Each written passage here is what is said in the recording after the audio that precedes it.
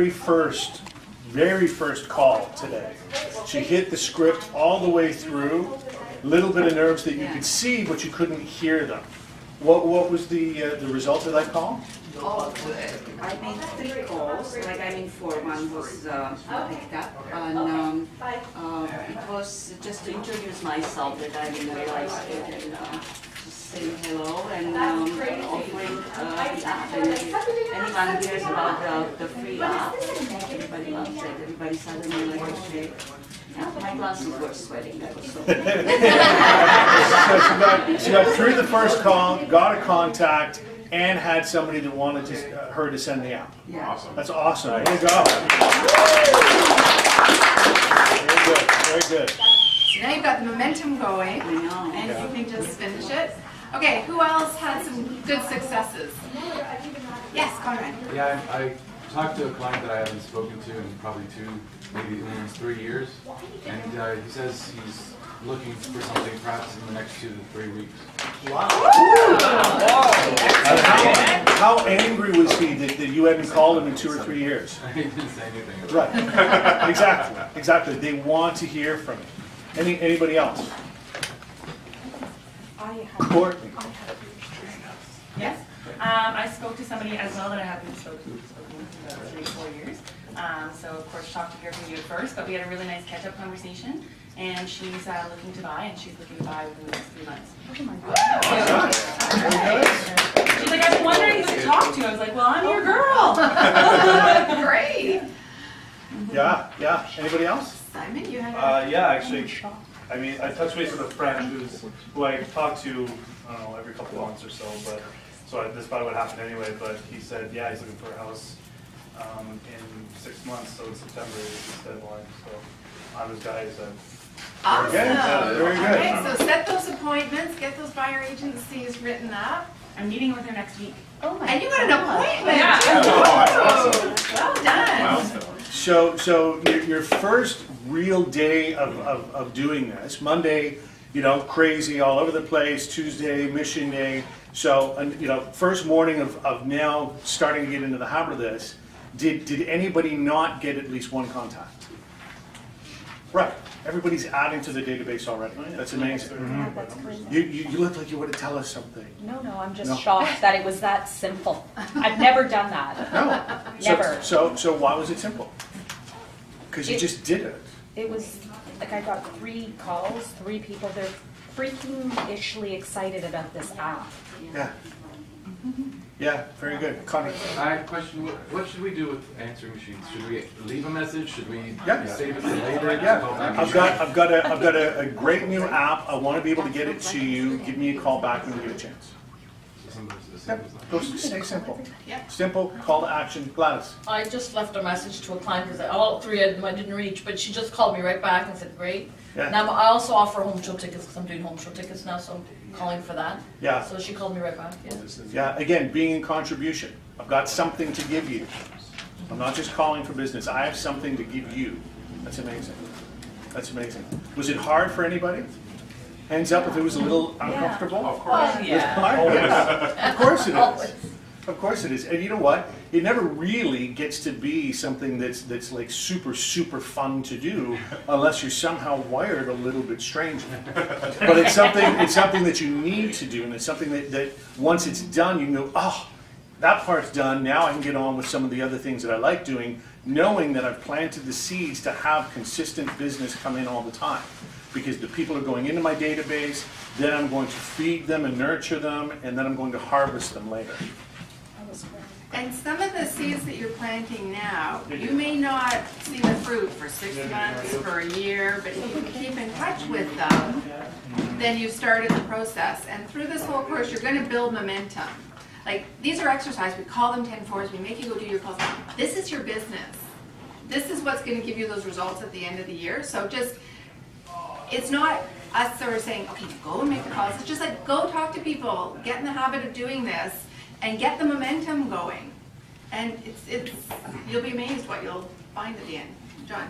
I just have one question about uh, signing people up. Mm-hmm. Like you said, day one, that was an aha for me, is to sign people up. I have about twenty-five possible buyers, none of them are signed up.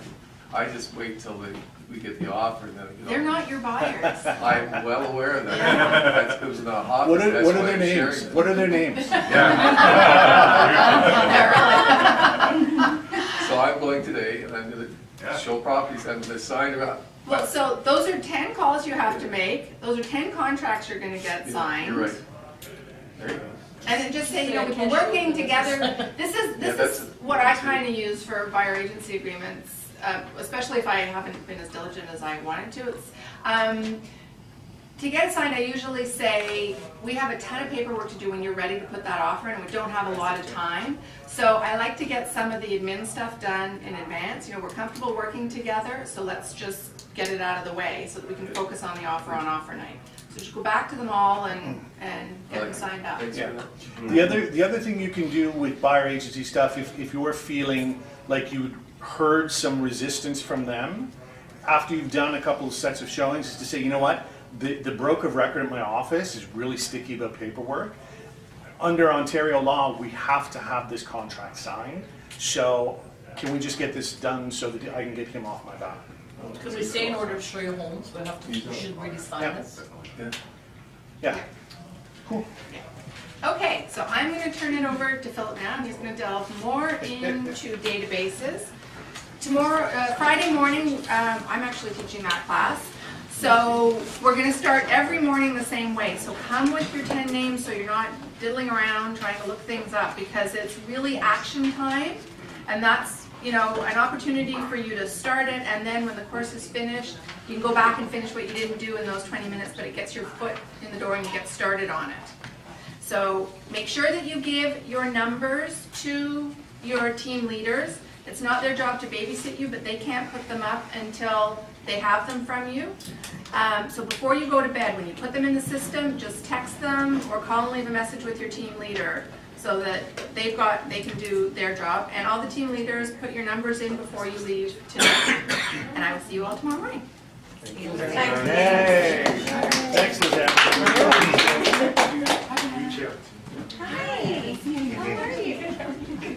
Yay! Okay, so, so uh, I'm going to do a really super quick introduction of me because I don't like talking about me. Uh, You probably know me from the, hey, how do I do this contract? Somebody is trying to screw me on a deal, what do I do? Discussions is the broker of record. Uh, But, but I do have another life outside of there, which is why you can't call me at 8 o'clock and say, can you review this offer? I'm presenting it at 8:30. Uh, So as, as one half of the Kashansky Brown team, uh, I'm the brown half, uh, Irene's the other half. Uh, We, uh, we have a- a, you know, we're fortunate, we have a great business, um, and it really is database driven.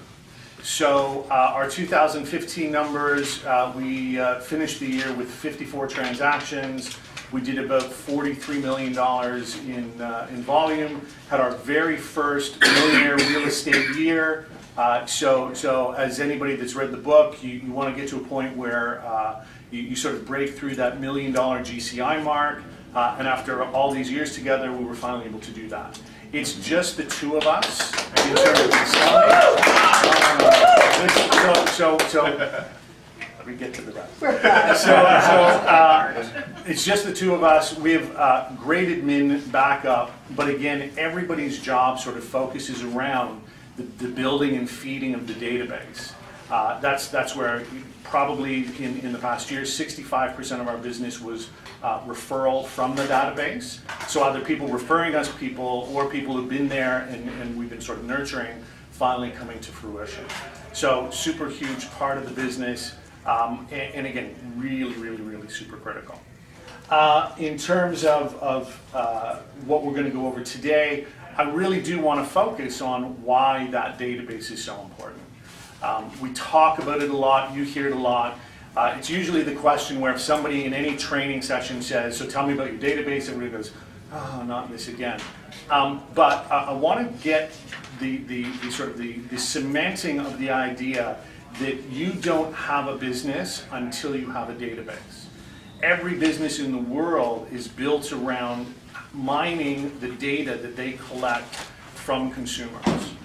Getting new consumers in is super hard, super expensive. If you've got data that you're collecting, You get to, to target your marketing, you get to target how you do things, and I think we all go through that all the time. So, uh, we're going to go through what, uh, what goes on in the database, why it's important. Um, This 10, 10, 10, 10 that you keep hearing about, if you were able to do the 200 people into your database that you committed to at the beginning of, of this session, by the end of the year, I guarantee out of that 200, there will be three to four pieces of, of business that you wouldn't have got otherwise. Is there anybody in the room that doesn't want to do four extra deals this year? Raise your hands. Yeah. Excellent. So, you know, I I get that it's a time commitment, uh, and again, uh, it does push us out of our, our usual boundaries and into some uncomfortable places, but really, i- it's, it's a super, super important part of what goes on. So let's talk a bit about um, marketing. We're going to take the database thing, we're going to put it off to the side for a second. Targeted marketing, has anybody uh, uh, been impacted by it? By Did- something we received? Yeah, yeah. What, what companies market to you? Cruise lines. Why? Why, why, why do cruise lines call you Gladys? Because we've been on a cruise. Right. Right. So they're starting to get the idea that if you've done it once, you might do it again. Chimney cleaning. Chimney cleaning. Eavestroughs. I want to call the chimney cleaning companies once just to see if some little guy in tattered stuff shows up with a brush. Duct cleaning. My God. Duct How many calls we get about that? Yeah. So, so I'm going to use the duct cleaning as a really great example. Uh, has anybody had that call and said, finally, somebody's called me about cleaning my ducts? No. No, and, and, and the reason is that, that they're not targeting. They're doing mass marketing. So what we're gonna talk about in real estate is always gonna come back to targeted marketing. So, so in terms of the, the who does it, the best companies in the world do super targeted marketing. They're at a point now where between sending you apps and sending you emails and all the other things that go on, as, as you now walk by their stores, they have near field communications that then change the ads that are appearing around the space to, to, to cater specifically to you, your age group, your demographic, everything else. And that's as targeted as you can get. Uh, we're, we're, we're going down that road now with our app and, and, and with everything else. But the reason you do that kind of targeted marketing is, is to become top of mind. So go through a couple different, uh, different products. Uh, top of mind for potato chips. Lay's. Lay's. Yes, they do. Yeah, yeah. Uh, uh, top of mind for pop. Coke. Coke. Yeah. Tennis shoes. Nike. Nike. Yeah, I mean, there's a couple. You you can go to you can go to any running room. There's 25 million different brands of shoes. But when we think of shoes, and when you get to a point where you can you can talk about a product using the brand name, when was the last time anybody said, "Can can I have a tissue?" That's for Kleenex. Mm-hmm. What do you what do you clean your ears with? Yeah, Not cotton swabs? right? So you want to get to that point with your own customers that when they think house, they go to your name. I've got to call Nick. I've got real estate issues. I've got to call Svetlana. You want to be top of mind. So to do that requires targeted marketing. You can't do super targeted marketing without database. database. Yeah, it's really about the data. So if we look at, at you know, how, how that's going to relate directly to your own business, having a targeted marketing campaign, what's that going to allow you to do? Be organized. Zero in. Organize is one, Zero in, like just really. zero in, yeah. Time. Focus your efforts without having to spend a whole lot. Yeah. Yeah. 80-20, the the idea. Mhm. The 80-20 principle, right? Yeah. Yeah, I mean, really, how much, how much money do you want to waste trying to figure out what works? You know, how many people have, have run ads for, you know, for listings and never had one person show up saying, oh, I heard about your open house from the Globe and Mail app? And it happens all the time. So, so as a, as a business, we've stopped doing it. We track all of our stuff so that we know what works and what doesn't. And the more targeted you can be, the more the person hearing the message feels like it's catered directly to them. And, and if you can do targeted marketing with, with your real estate business, then you blow by everybody that's dropping 14,000 postcards in the mail every month in the same neighborhood that has no target to it. They're just blasting. And they're hoping through sheer numbers that something comes out of it. If you can be targeted, you can be efficient, you can be cost effective, and you can be leading with revenue. And that's really what, what a great, successful, profitable business is based on. Uh, so going through, uh, you know, the, the, the real core of, of why the database is important, it's, it's all the information that you need to be doing your reaching out, to be doing your targeted marketing, to be doing your constant touch campaigns. If you don't have the details, it's really difficult calling somebody and, and having to figure out on the fly when was the last time we spoke? What did we speak about? Were you the one with two kids or three kids or no kids? It, it's, it's just, it, it makes everything super, super difficult. So if you've got something that's clearly defined, that's really well organized and, and split into the widest number of categories you can come up with, then you're always at your fingertips having the ability to pull rather than to, to push information. So I can now pull people who said they were looking in Parkdale for fixer-uppers who want them as investments and said in the next two years. If I've categorized everything well at the beginning of building my database, I can then pull those things when I see a building come up that I think would be perfect for an investor that can fix stuff up. Yeah. How do you categorize your database going in? So going in, it's really a matter of you setting up the categories. In, in most uh, database programs, they have a whole series of fields that you can pick from, and you can customize to, to your, your own needs. Well, what, what, what do you typically do? Like what, how do you s- segment them? Like talk to somebody, you're gonna put them in a field and say buying in the next six months, buying in the next twelve months, whatever. Yeah. Any other, So we do, so again, so, so we'll, we'll get into the categorizing a little later i- Okay. into this.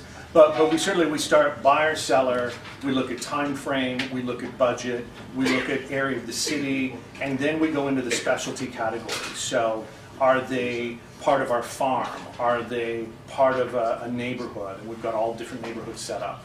Are, are they part of? And, and as you sort of add things, as you, you gain more experience, you can then just change some of those fields, or you can add to them later on. But, but, you know, certainly right away, buyers, sellers, time frame, and budget. Okay? Uh, In, in, in the end, really, the, the, the, the true value of a great database is, is that it provides what? Yeah, the leads. Where are your leads coming from if not from these calls that you're doing and emails that you're sending out and people responding?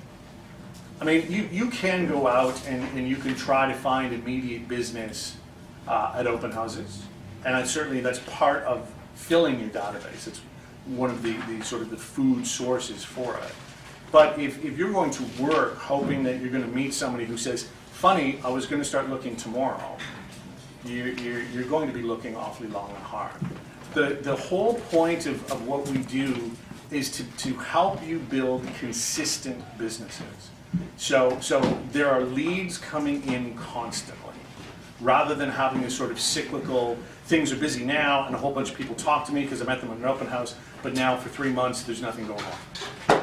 So with a database that's properly managed, you will have things that come in on a very regular basis.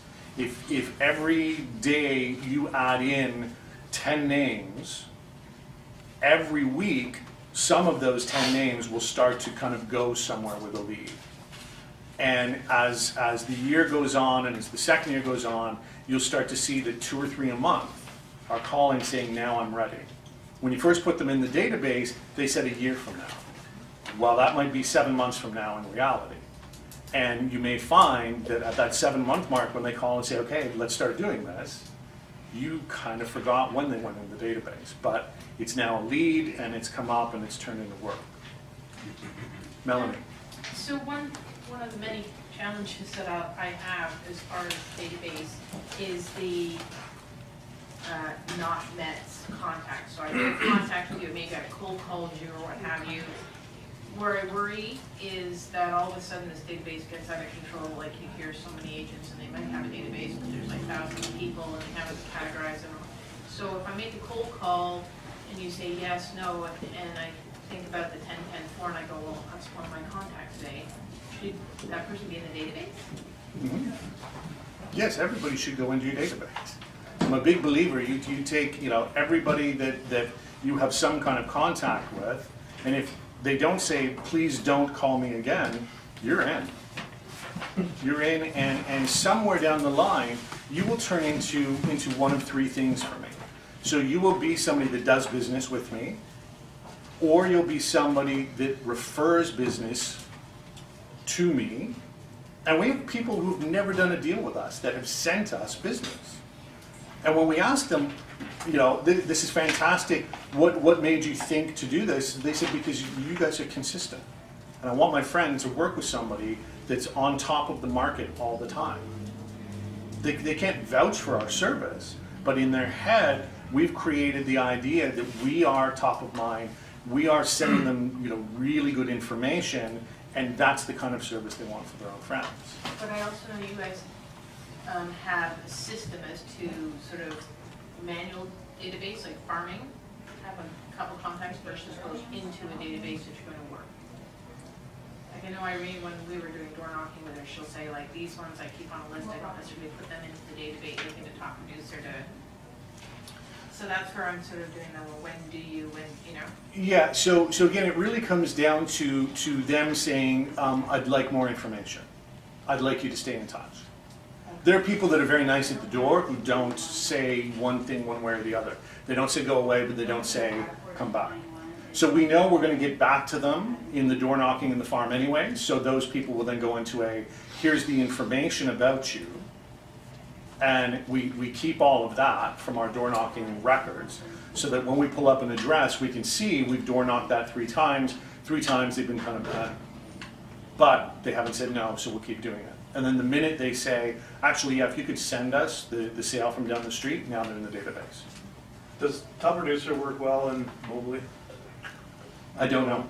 Oh, I don't know. Uh, we, we, we're so, we're so disciplined in doing everything in the office during a specific time that we've never tried to add stuff in mobile.